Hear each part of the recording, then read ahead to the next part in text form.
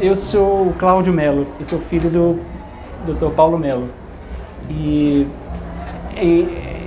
de uma certa forma, eu, é, eu fui responsável por concretizar alguns dos sonhos do Paulo Melo, de trabalhar com o cérebro, trabalhar na pesquisa.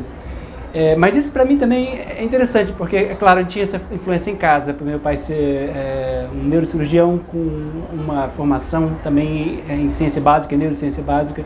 Mas para mim nunca, no, no, início não era muito claro, eu não, eu não tinha uma, uma linha assim, eu não sabia que eu ia ser um neurocientista. Eu gostava muito de música e essa formação eh, musical foi importante para mim. Também sempre li muito literatura, filosofia, a minha mãe estudou filosofia e eu era fascinado com filosofia. E eu sempre gostava de pensar sobre as coisas, pensar sobre o mundo, pensar sobre biologia, como as coisas. E eu, é claro, o cérebro é um, é um órgão onde tudo isso converge. E, mas conversando com meu pai, conversando com outras pessoas, bom, uma das coisas que eu tenho que falar é que meu pai sempre é, tentou expor a gente uma série de coisas. Ele, quando eu era, é, era jovem, ele levava a gente para ver como um arquiteto trabalha, como um engenheiro trabalha, como um, um biólogo trabalha, é, para a gente ter uma, uma, ideia, né? Porque quando você é novo você não sabe, né? a gente tem alguma ideia, lê alguma coisa, mas é diferente de você ir e passar algum tempo e fazer um estágio e experimentar aquela aquela área. Durante a, a, o segundo grau, eu li muito sobre os experimentos que foram feitos para descobrir uh, sobre as células, sobre os, uh, as vias metabólicas. Isso foi muito interessante. Eram artigos da Scientific American, uh, que eram facilitados, uma leitura facilitada, e eu fiquei fascinado com esse processo de, da descoberta científica. E depois, quando eu ingressei no curso de medicina, eu na verdade ingressei no curso de medicina com uma certa dúvida: será que era o caminho mesmo? E eu fui não porque eu tinha tanto interesse na medicina, mas porque existia uma certa tradição de pesquisa no Brasil, é, pesquisa biomédica. Ah, muitos pesquisadores eram médicos, ainda são. E os cursos, é, conversando com pessoas que estavam, que faziam pesquisa, eram, eram médicos, me disseram: você vai ter uma exposição maior, uma, uma, uma, uma gama maior de matérias e tudo. Eu ingressei com uma certa dúvida, sem saber realmente se eu ia seguir terminar o curso. E o que aconteceu é que durante é, os primeiros anos eu fiz as matérias básicas e a, aí a grande coisa foi ter a oportunidade, durante a graduação, de fazer estágios no laboratório. É, e ser exposto realmente ao que é o trabalho científico e ter a oportunidade de conversar com professores que atuavam na, na ciência. Então, os professores, por exemplo, da bioquímica, da biologia molecular da UNB, é, que realmente me despertaram é, esse interesse e me deram a oportunidade de trabalhar na, no laboratório uh, básico, na época do professor Valdenor uh, Barbosa Cruz e a Maria Sueli uh, Felipe.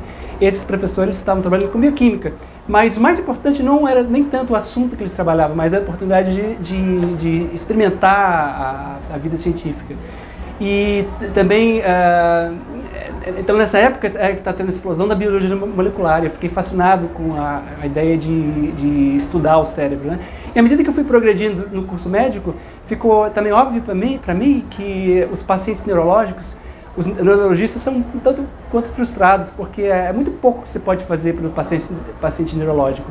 Em grande parte porque a gente não sabe muito sobre a fisiologia cerebral é, como é que o cérebro funciona e como é que o cérebro é, não funciona durante as doenças degenerativas, traumáticas, uma série de patologias.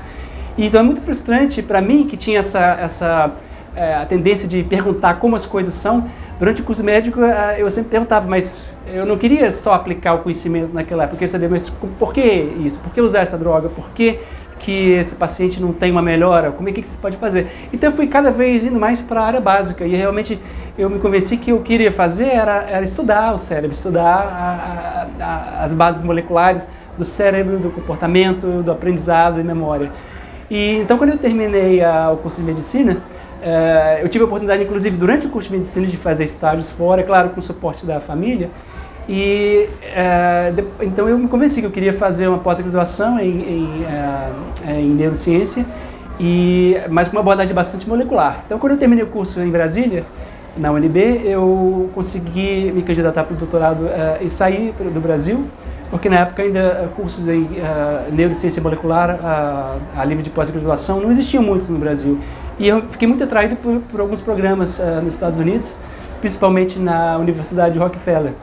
E nós fomos para lá e eh, realmente se abriu muitas eh, possibilidades para mim de atuar nessa área de neurociência molecular, de estudar as bases genéticas do comportamento, etc.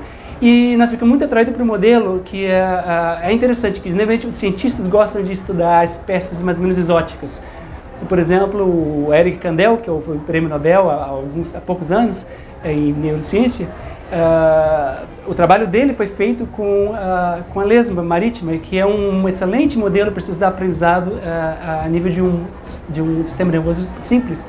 Então, é, é, muito interessante. Tem outros pesquisadores que trabalham com insetos, que trabalham com sapo, que trabalham com, é claro, rato, camundongo. Vários desses modelos animais são muito interessantes. Eu me interessei muito por estudo em pássaros, em aves.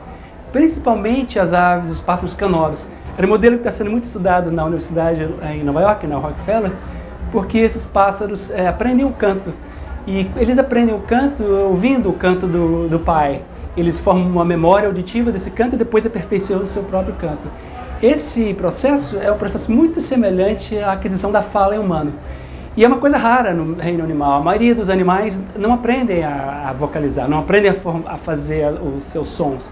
As vocalizações que os animais emitem, você pensar no cachorro, na galinha, na grande maioria dos animais domésticos ou silvestres, essas vocalizações não são aprendidas. Mas, no entanto, nos pássaros canoros e em outras aves também, como o papagaio, e nós estudamos também os beija-flores. Essas aves são aves que aprendem o canto. Então é, é uma coisa rara, como eu estava dizendo. Ah, inclusive na maioria dos primatas não humanos, ah, as vocalizações são parecem ser inatas, parece que não são aprendidas.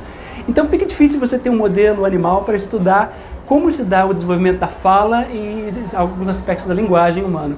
E o que é muito interessante é que nessas aves você tem esse modelo, porque eles, esses animais ah, fazem esse comportamento.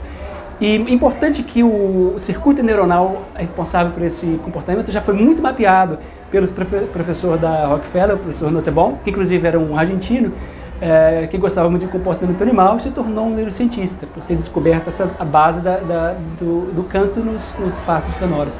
E depois, esse estudo levou a uma série de descobertas uh, fenomenais como a ação de hormônios sexuais no cérebro, como é que o cérebro do macho é diferente da fêmea. Em geral, os pássaros machos cantam, as fêmeas não cantam. Como é que isso acontece? Quando ele foi olhar no cérebro, tinha áreas, ah, tinham áreas que eram diferentes da, no macho da fêmea.